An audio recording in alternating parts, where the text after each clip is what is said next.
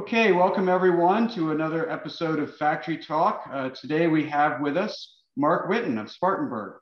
Factory Talk Secrets of Effective Plant Leaders. Produced by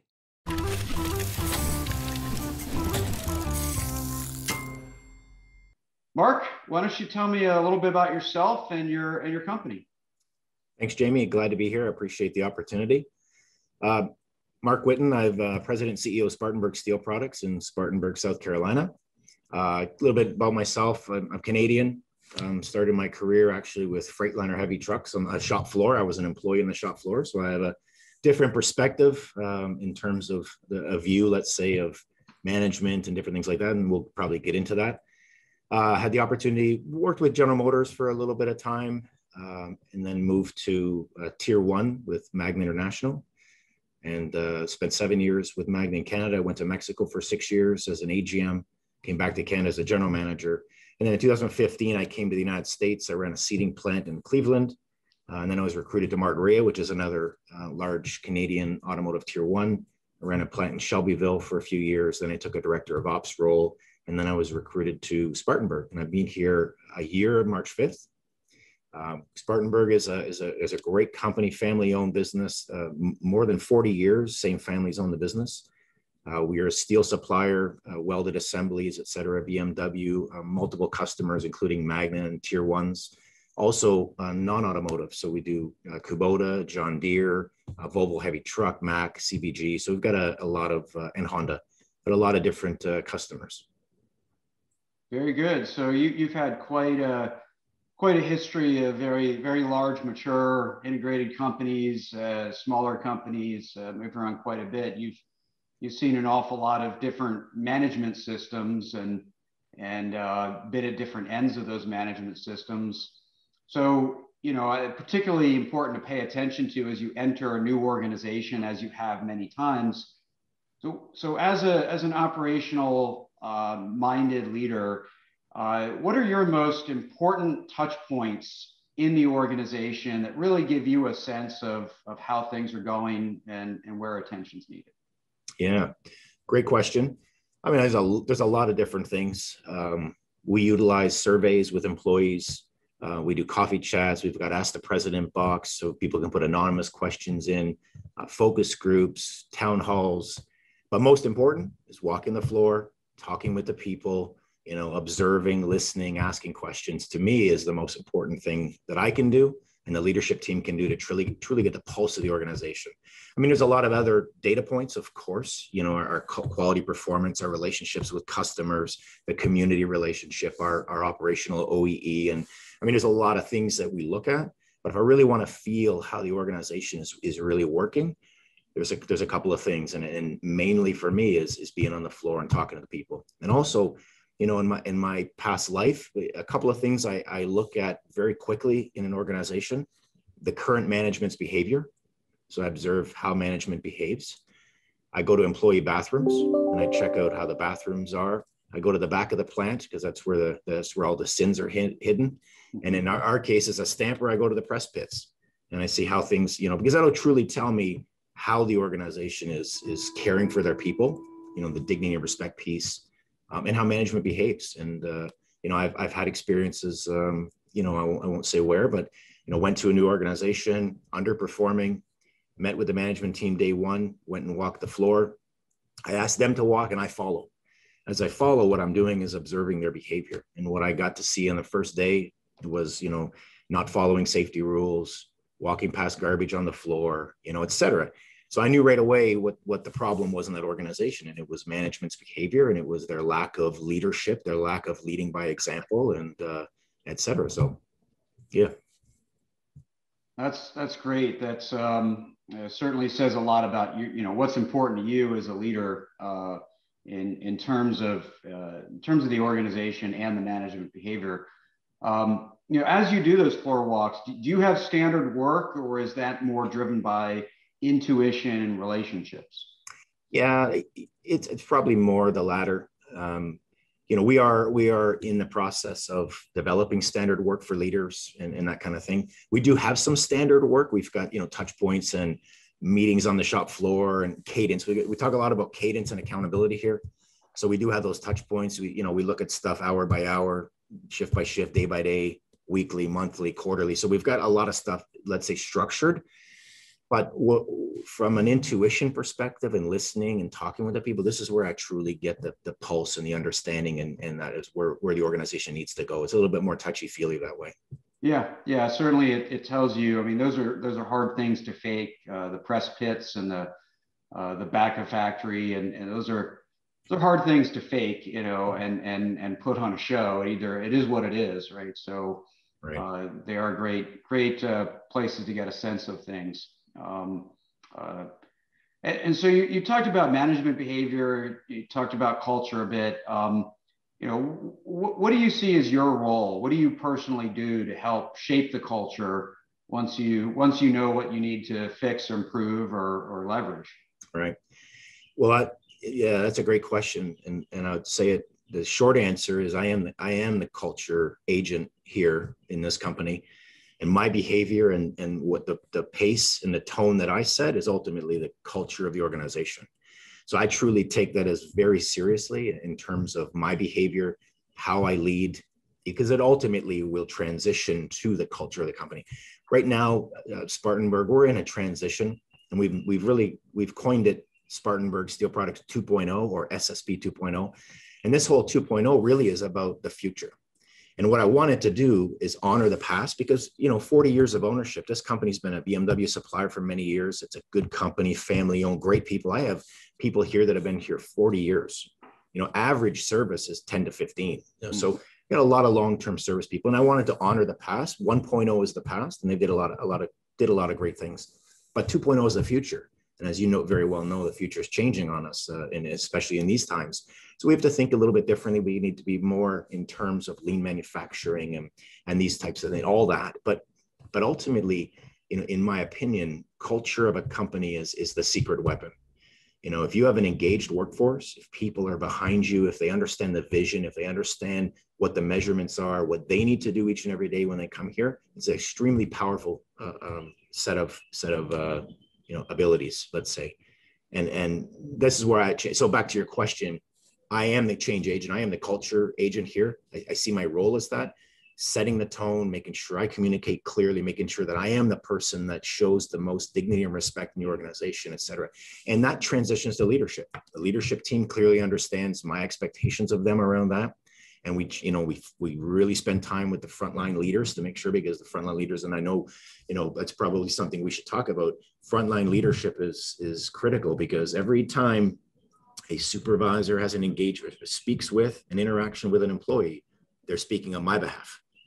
You know and and and that and i need to make sure they understand very clearly that your words and how you treat employees is how they view me as their leader and so it's extremely important that they understand dignity and respect is first and foremost in this organization. We need to listen to our people. We need to act upon it. We need to hold our people accountable. I mean, I'm very tough on my people, but I do it in a very high level of dignity and respect. So that's that's how I see my role here as a, the culture agent.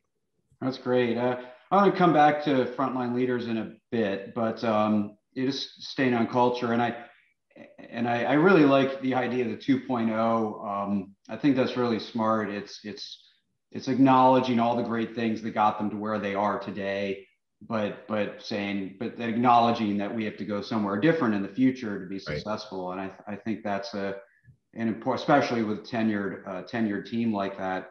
Um, and and role modeling is one of the most important things to drive culture. Um, I sometimes like to quote myself. One of my favorite is you know, uh, uh, if you aren't role modeling if no one sees you do it. So that that visibility, which you talked about earlier, of being on the floor, being close to the people, is you know provides you that opportunity for people to see you lead. So so that that that ties in very well with what you're what you're saying about your role. Right, and and if I can expand, you know, things leading by example is one of the most important things, in my opinion, for any leader you know you can't you, you, i can't walk on the shop floor and ask people to do things if i'm not willing to be the first guy through that gate so we have done things for example the parking lot behind me the management team including myself painted the curbs they need to be painted red and yellow etc so we went out and painted them this past year um, cleaning. We go out for two hours a week, every single week as a management team, and we clean on the floor,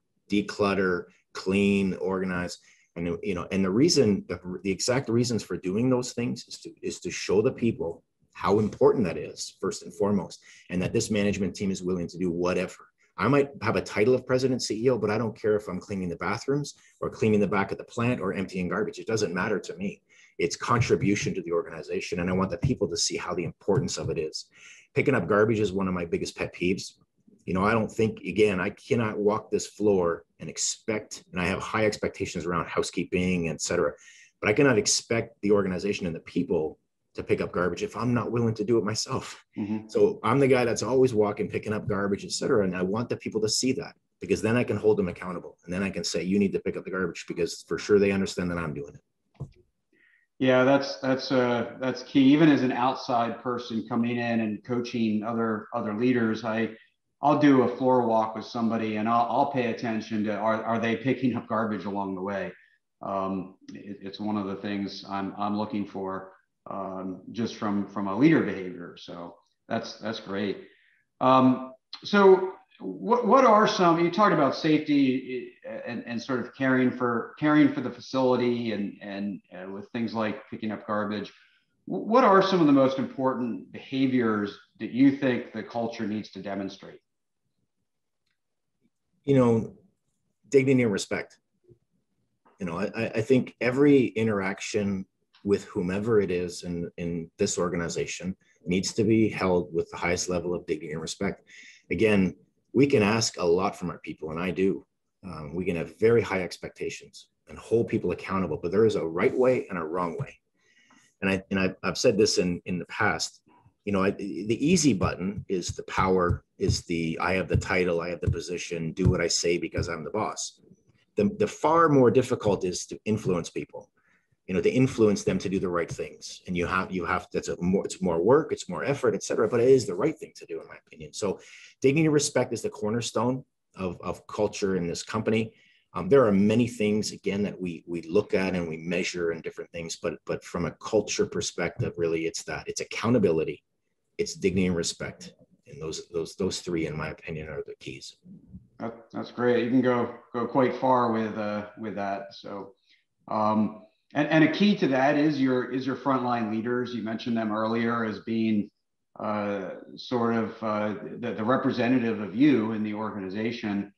Um, so, what do you what do you look for for effective frontline leaders? Uh, whether you're promoting or hiring or or uh, sustaining and building what you already have? What are you What are you looking for?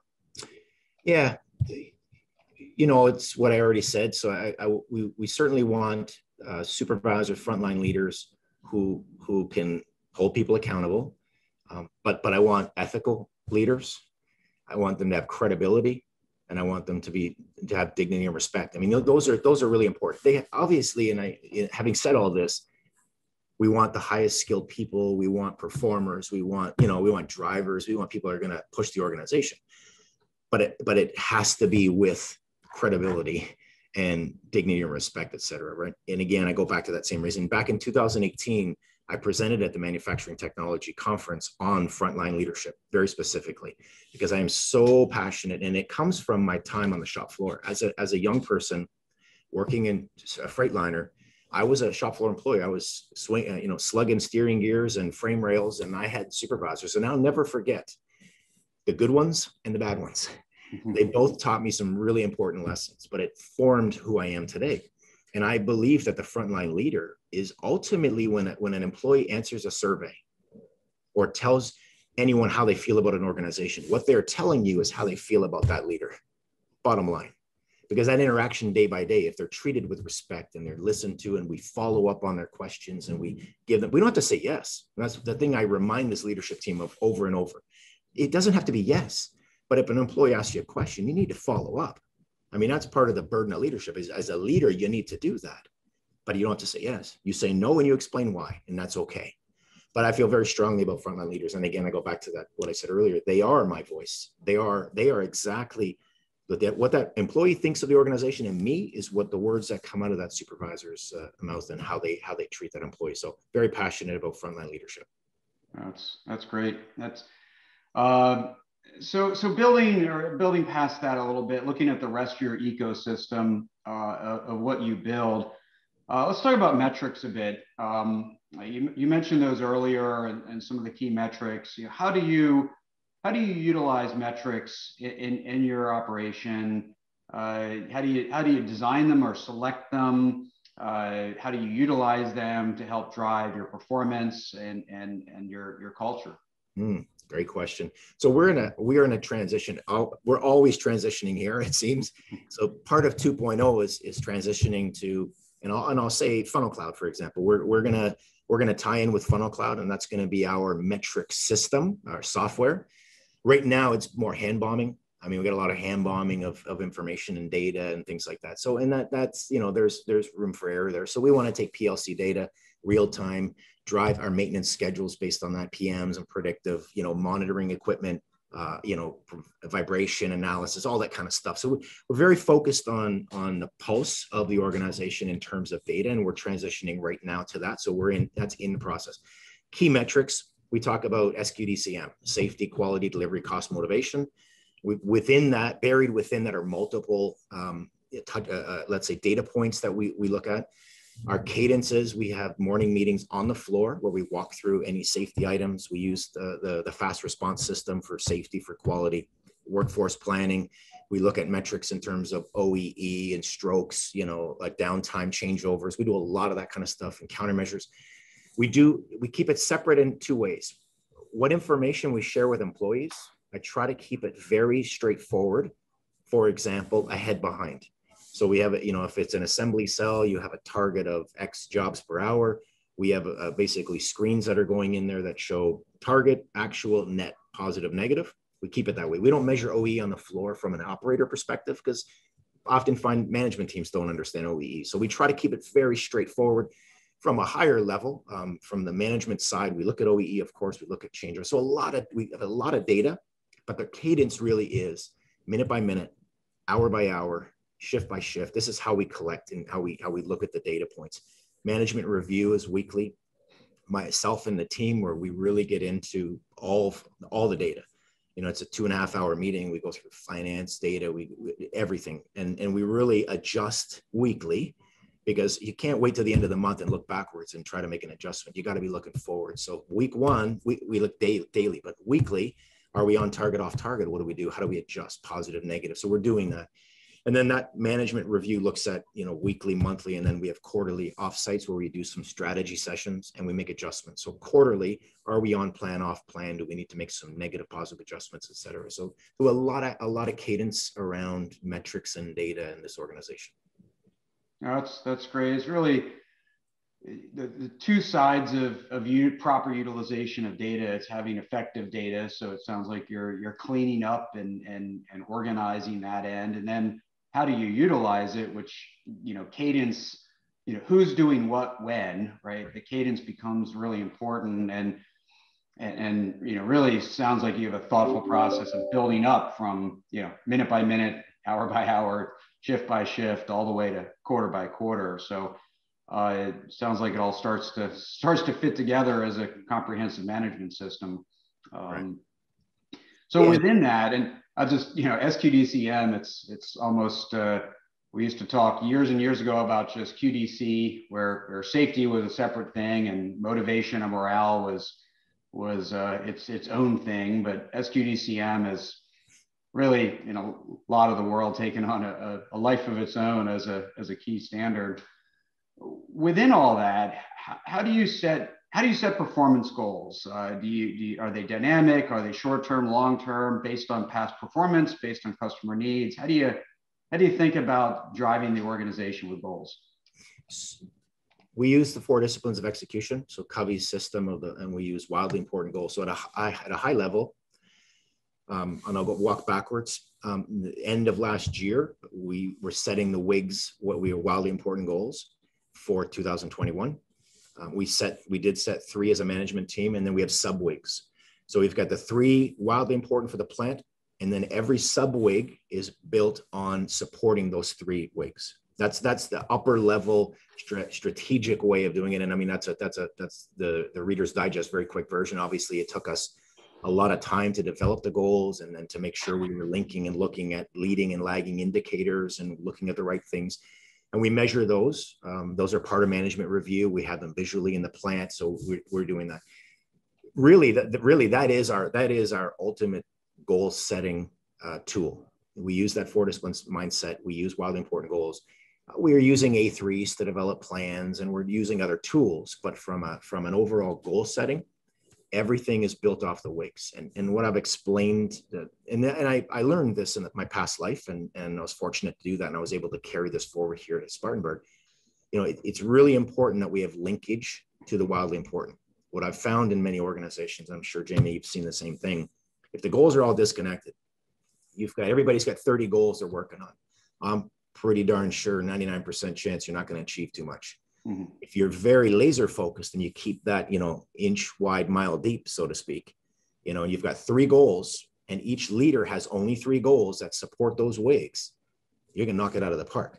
And I can, I can, I can tell you, you know, we are, our, our fiscal year is is ending in October, so we're five months into 21, and and we are have exceeded all of those three WIGs at this point. We are, are exceeding at this time, and and I truly believe it's because that's where the team is focused. They are 100% focused on those goals. Uh, we're not distracted about, and you know, it's the whirlwind theory. There's a lot of stuff going on every day around you. You got to manage that. But yeah, I would prefer it to be an 80 20. Put 80% of your effort into the wildly important and manage with the 20% on the on, on the whirlwind. So that's that's how we uh, manage goal setting here. Yeah, no, that's great. And you know, focus uh, you know does an awful lot to get you across the finish line of of of performance versus you know getting started on a whole lot of things. Um, uh, it provides that focus, that prioritization, uh, uh, that that digging deep um, that can really help drive some progress. I do. So, I do remember, Jamie. Sorry, you know, I, I I learned the hard way because I go back many years and I had a lot of goals and and I wasn't accomplishing much and I was struggling to understand why. And it's really because I was putting two percent into everything mm-hmm. you know, and, and you're not getting too far when you're trying to push a rope uphill and you've got all these goals and you can't really. So I learned that. And then when I was taught the four disciplines from a, from a great journal manager in Mexico, uh, you know, and I started to compress very narrowly, all of a sudden, you know, the progress was, was exponential. So yeah, it's, it's, it was, uh, it was through scars that I, I came to realize it's a better way. Now, as a guy who likes to dabble myself, uh, it's it, it can be a big a big threat to actual progress uh, when you when you spread yourself too thin. So, right. Um, so so you mentioned sort of 80 20 80 percent focus on the on the WIGs um, on those wildly important goals, but as as I'm sure your organization deals with, uh, like everyone else, uh, particularly since the pandemic started, as if operations didn't have an, enough fires to fight. It's gotten you know far worse. Whether it's uh, employee safety or employees in quarantine or supply chain disruptions. So the firefighting has gotten more difficult certainly over the last year. Uh, so how do you how do you balance a trigger manage that balance between you know when are you just firefighting and when are you systemically making improvements uh, solving real gaps how do you balance that for for the individuals the the teams the organization as a whole I see um, I see that that being one of my more most important roles is to keep calm in the organization and keep focus. So we we've set up these cadence of accountability meetings. I refer to them as, and that comes out of the four disciplines uh, language. We we've got these touch points every day where we go and we walk through that, you know, safety, quality, et cetera. So really, you know, I see my role in in those, and, and some of the more senior leaders in this organization. Our role there is to keep the team focused so we can see very quickly, we know very, very quickly when there's hotspots and fires and things going on. We are always putting the parentheses around our people to stay focused here. And we're also diverting resources. So we know if we're in trouble in the press shop where we've fallen behind schedules, you know, and we're, we're you know, we're heading towards an overtime on the weekend because of it, you know, we'll divert energy to helping that that leadership team there get back on track. So we do that via you know the daily touch points on the floor. We do that via management review, understanding where hotspots are. But but it's really it's really hands-on monitoring um, and myself with the other senior leaders being on the floor in these meetings, participating and seeing it and helping those teams react. What I found is if we're not doing that, and if I'm not doing that, then the teams start to get a little bit disjointed. And then, the, then to your point, the firefighting starts to take over the mindset, and they walk away. They forget entirely about the wakes. By the way, we're not perfect, and I, and I mean, I'm, I'm, you know, I, we've got a, a tremendous amount of opportunity to to work on, and, and I for sure would be the first one to admit that but uh, you know as a leadership team and as we stay focused on on improving and supporting each other we're going to make a difference so but that's really it it's hands-on monitoring and checking you know bringing everybody centering them back to the wigs we do that in management review we do that in quarterly reviews keeping them focused on it making it visual that's another big piece of it if the goals are visual in your plant and all of your people understand and your leadership understands it's far easier to keep people focused to that than if they're fighting fires every day. And fires happen, by the way. Of course they do. I mean, we that's manufacturing. No, that's absolutely. Um, but I, I liked how you start started with calm. I, I think uh, you know being able to calm is one of those really important cultural indicators that you can't measure.